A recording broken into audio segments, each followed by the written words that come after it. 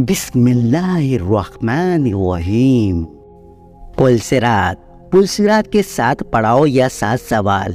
आज हम आपको पुलसिरात के बारे में कुछ अहम बातें बताएँगे, जिसे सुनकर आपका ईमान ताज़ा होगा और आप अपने अमाल सुधारने की कोशिश करने लगेंगे इनशाला अबू सईद खुददारी रज़ी अल्लाह तु से रिवायत है कि अल्लाह के रसूल सल्लल्लाहु अलैहि वसल्लम ने फरमाया पुलसिरात को जहन्नम के ऊपर रखा गया है, जिस पर ऐसे कांटे लगे होंगे जैसे सदान पौधे में होता है, फिर लोग उससे होकर गुजरेंगे तो कोई सही सलामत नजात पा जाएगा, कोई खरोच के साथ पार हो जाएगा, और कोई रोक दिया जाएगा, और कोई मुँह के बल जहन्नम में गिरा दिया जाएगा। नबी सल्लल्लाहु अलैहि वसल्लम ने फरमाया, फिर अल्लाह जहन्नम वालों पर दया करेगा और जिसके दिल में राय के दाने के बराबर भी ईमान होगा, उससे निकाल लेगा। नबी सल्लल्लाहु अलैहि वसल्लम ने इशाद फरमाया, पुलसिरात हर इंसान अपने अमाल के हिसाब से पार करेगा। पुलसिरात बाल से ज़्यादा बारीक और तलवार से ज़्यादा तेज धार वाला है, इस पर कांटे और जंजीरें हैं। जो उन लोगों को अपने गिरफ्त मिलेंगे, जिससे अल्लाह चाहेगा पुलसिरात को पार करना किसी के लिए बहुत आसान होगा तो किसी के लिए बहुत मुश्किल। कुछ लोग पलक झपकते हुए पार कर लेंगे, जैसे रोशनी की रफ्तार होती है तो कुछ लोग ऐसे होंगे जो ठोकरे खा खा कर जहन्नम में गिर जाएगा, या इन्हें फरिश्ते हथौड़े मार कर जहन्नम में गिराएँगे, या मुँह के बल गिरा दिया जाएगा। हदीस से साबित है कि लोग अल्लाह की बारगाह में अपने दर्जा के हिसाब से पुलसिरात को पार करेंगे। ईमान वाले तेज़ी से या धीरे धीरे चलते हुए इसे पार करेंगे, जबकि काफिर और गुनहगार जहन्नम में ठोकर खाकर गिर जाएँगे। नबी करीम सल्लल्लाहु अलैहि वसल्लम ने फरमाया है कि सबसे पहले पुलसिरात आप पार करेंगे, फिर उसके बाद आपकी उम्मत पार करेगी। लेकिन उम्मत से पुलसिरात पार करने से पहले सात सवाल पूछे जाएँगे, और इन सात सवालों के जवाब बगैर पुलसिरात पार नहीं किया जा सकता। वो सात सवाल ये हैं।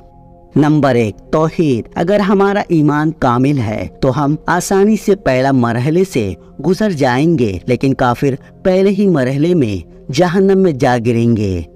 नंबर दो, नमाज़।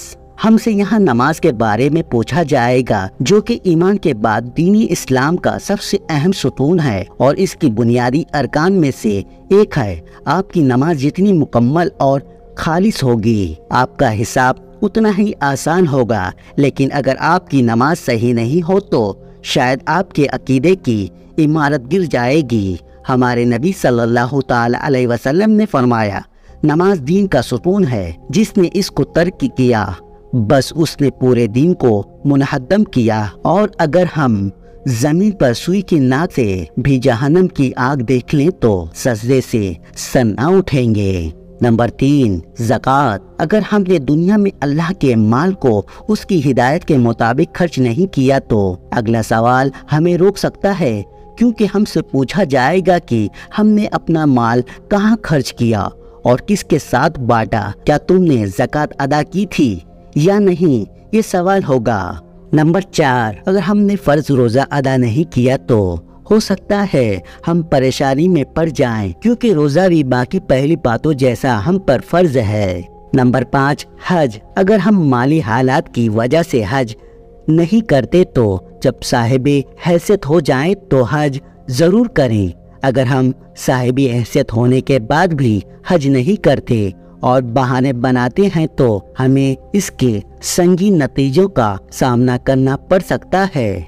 नंबर छः सिला रहमी। अगर हम हमेशा दूसरों का हक मारकर उनके हकूक को नज़रअंदाज करते हैं या किसी की गिबत करते हैं या किसी पर झूठा इल्ज़ाम लगाते हैं या चुगली करते हैं और सोचते हैं कि हम बच जाएँगे तो ऐसा नहीं होगा। ये सवाल हमसे पूछा जाएगा तो अगर आपने ये गुनाह किया है तो तौबा कर लो और आगे से न करने का अहद कर लो।